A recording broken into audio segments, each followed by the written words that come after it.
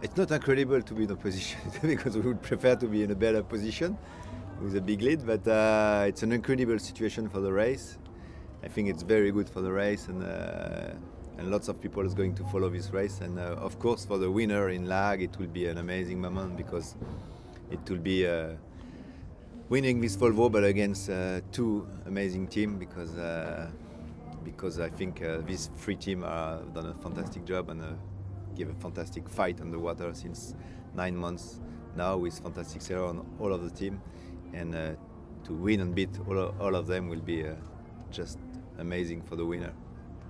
I think that's something uh, what we know that uh, especially one particular red boat they're getting very nervous and another boat another red boat has a, a bad history. If you think back about Telefonica that they actually would have had it in the bag and then they lost it. So in that sense uh, yeah we, we, we, don't feel any pressure of course there's, there's some pressure but that's just uh, a natural one but I think just the people who we're having on board I think uh, yeah we might be having uh, psychologically a step forward as well.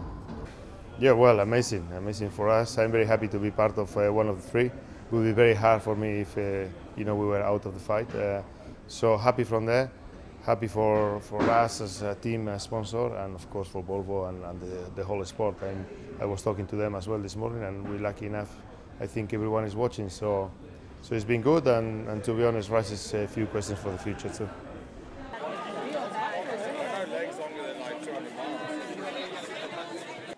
Can you hear them?